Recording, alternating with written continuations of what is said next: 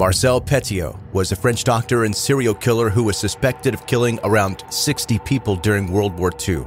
Marcel took advantage of desperate people for his own benefit and had a complete disregard for human life.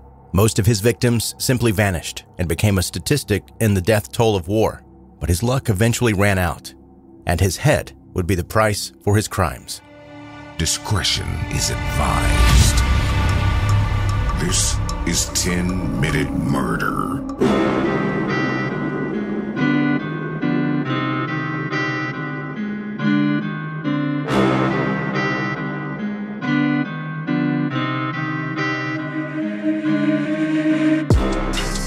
Welcome to 10 Minute Murder, brief and bingeable true crime.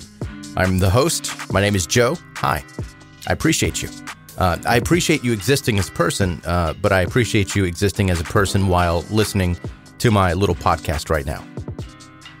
I've been asked before how often I mess up at the beginning of an episode and just completely start over. Well, this one should be a shining example that doesn't happen very often. I can usually talk my way out of mistakes and what I meant to say or plan to say. Like, let me go to my notes here where it uh, has written what I'm supposed to say. It says, Talk about how you don't speak French, and the episode today is dripping with French. That's the one thing that I do have to edit and repeat and stress over. It's how to pronounce names and cities that I'm not familiar with. I've taken Spanish courses and a little bit of German, but French looked way too hard, so I didn't mess around with it. So please keep that in mind today as I absolutely destroy that language. I'm going to do my best. But before it starts, let me ask you to subscribe to 10 Minute Murder so that my mom will be proud of me and you don't miss any future episodes. Connect with the podcast on social media. That's where you'll find all the visuals that go along with the episodes that you're hearing, including the one today where Dr. Satan. Picture a silent film star from the 1920s playing an evil character with the crazy eyes and a sinister looking smile. And that's exactly what he looked like. I say looked because, spoiler alert, he's dead now. Obviously, because he was born in the 1800s. Okay, let's just get into the whole story.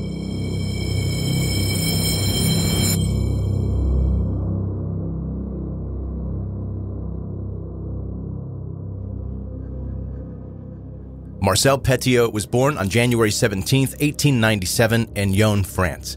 Marcel was pretty clever, but he got into trouble at a young age.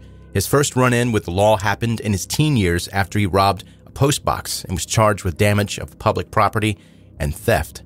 Because of that, he had to have a psychiatric evaluation. Those charges ended up being dropped when the psychiatrist found that Marcel had a mental illness. Lots of different stories about things that happened in Marcel's childhood, different things that he was involved in. Uh, they popped up after his later crimes hit the headlines, but a lot of those were probably just fabricated.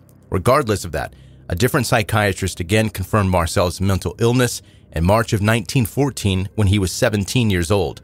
He had been expelled from school so many times that he ended up finishing his high school education at a special academy in Paris in July 1915. Even though he had been diagnosed with mental health problems, Marcel volunteered for the French army in World War I in January 1916. It shouldn't come as a surprise that this time didn't do him any favors. He was wounded and gassed during the Second Battle of Asni. I'm probably not saying that right, uh, but Marcel was sent home after that, and he started to show the signs of an impending breakdown. From there, he bounced around from rest homes, but ended up being arrested for stealing. Again, the list of things was long blankets, morphine, wallets, letters, photographs, and various army supplies. Unsurprisingly, this didn't go unpunished, and Marcel was jailed in Orleans. He again was put into a psychiatric hospital and again diagnosed with mental illness. But he was still sent back to the front lines in June 1918. Three weeks after being sent back, he injured his own foot with a grenade and was transferred to a new regiment. And around September of that year, he finally got a diagnosis that got him discharged from service and he was put onto a disability pension. But Marcel, the man with multiple mental illness diagnoses, didn't just live out his days on his disability pension. He wanted to do something more, so he joined the accelerated education program that was geared toward war veterans. Marcel managed to finish medical school in eight months and started working as an intern at a mental hospital. He got his medical degree in December 1921 and earned a living from treating patients and getting government medical assistance funds. Do you remember when I mentioned morphine earlier as one of the things that Marcel stole from the rest homes? Well, at this point in his life, he was on a steady supply of addictive narcotics and quickly became known as a rather dubious character in the medical community. Marcel gave his patients narcotics, performed illegal abortions, and continued to steal even though he was making a decent income. In 1926, Marcel ran for mayor of his local town but didn't want to try to win it fair and square. Instead, during the political debate with his opponent, he hired someone to disrupt the whole thing. This worked, and he won. He ran his office how he had run his medical practice poorly. Marcel embezzled town funds, which didn't go unnoticed for long. In the meantime, Marcel married Georgette Lablais, the 23 year old daughter of a wealthy landowner and butcher. They had a son in April 1928 and named him Gerhardt. After the complaints started rolling in about Marcel's dodgy deals, he ended up being suspended as mayor in August 1931, so he just resigned. Marcel was clearly quite the charmer, though, because the entire village council resigned also following his resignation. A little more than a month after, he was elected as councilor of Yonne Department.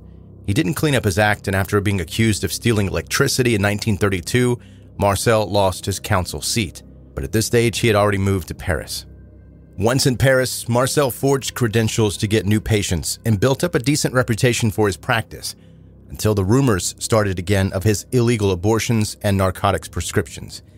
In 1936, he was appointed to a level of medicine and gave him the authority to write death certificates. 1936 was also the year in which he was institutionalized briefly for kleptomania. There was also some tax evasion floating around in there somewhere. In 1940, when Germany defeated France in World War II, French citizens were made to do forced labor in Germany. Marcel helped some people avoid this by writing up fake medical disability certificates for them. In July 1942, he was convicted of overprescribing narcotics, despite two addicts who were set to testify against him having disappeared. I'll give you one good guess who was responsible for that. For this, Marcel was fined 2,400 francs. He then went on to tell people about his supposed resistance activities. He claimed to have created secret weapons that killed Germans without leaving any forensic evidence. He also said he put booby traps all over Paris and had meetings with Allied commanders and worked with a group of Spanish anti fascists, but this supposed group didn't actually exist. At this point in the story, you're probably thinking, hey Joe, when are you going to talk about the 60 people he murdered? Well, right about now. Marcel's big moneymaker during Germany's control of France was a false escape network. He took on the name of Dr. Eugene and made people believe that he could get them out of France to either Argentina or elsewhere in South America for a mere 25,000 francs. He had three men working with him who could find people and direct them to Dr. Eugene. They consisted mainly of Jews and resistance fighters, with the occasional criminal thrown in here and there. Once Dr. Eugene had his victim, he would convince them that the Argentine officials needed all entrants to be inoculated against disease. Of course, having come this far and paid 25,000 francs, people would agree and Dr. Eugene would inject them with cyanide. And I don't know how much you know about cyanide, but that's not what it's for. Once the victim had died, he would take all of their valuables and get rid of their bodies. He was killing and robbing people. At the start of this operation, he would dump bodies in a river but he graduated to submerging them in quicklime or incinerating them.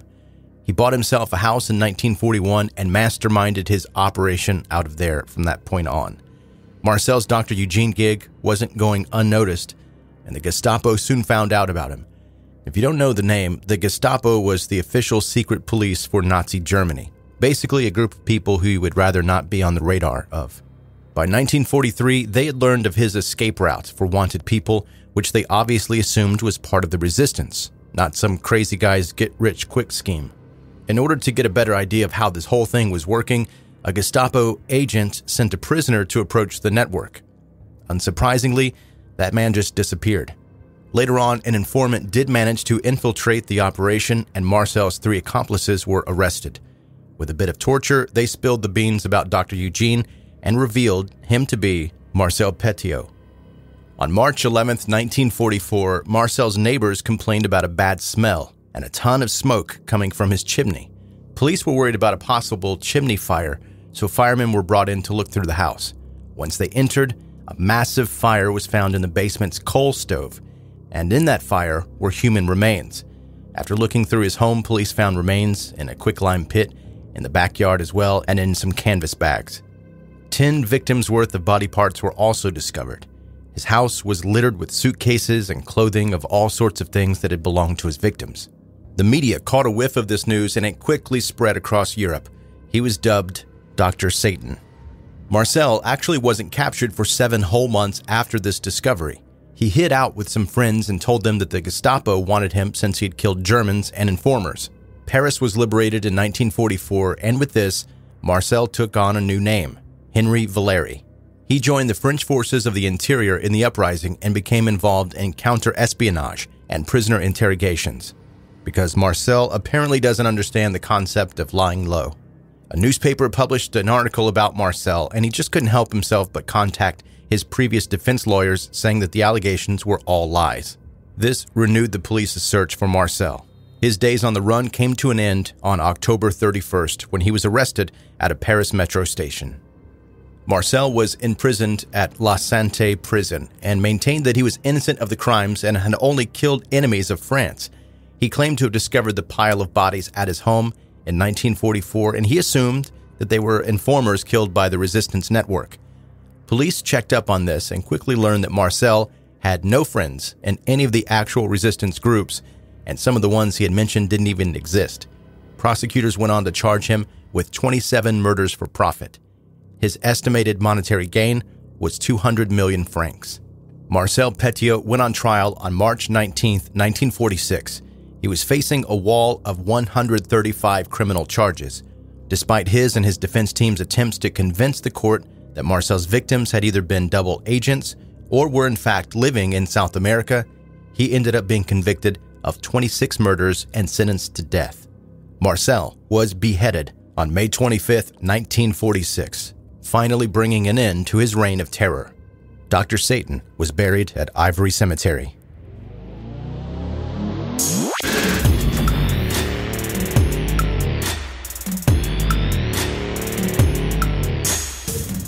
That's 10 Minute Murder for today. Brief and bingeable true crime. Thanks for being a part of it. And like I mentioned at the beginning of this episode, in the show notes of this episode, you will find links to where you can connect with 10 Minute Murder on Facebook, Instagram, Twitter, TikTok, uh, all the places. Um, you can subscribe to 10 Minute Murder or follow 10 Minute Murder. Uh, and on many of those, like Facebook and Instagram, you'll see photos that go along with the episodes that you're hearing about. Show notes is where you'll find all that information. And before you go today, if you are not subscribed to 10 Minute Murder, first of all, you're breaking my heart. I don't know why you're doing this to me, but make sure you subscribe so that you don't miss any future episodes of 10 Minute Murder. And finally, if you have friends and you think they might be into brief true crime stories like the one that you heard today, let them know about 10 Minute Murder. Thanks for listening. Be safe and have a good night.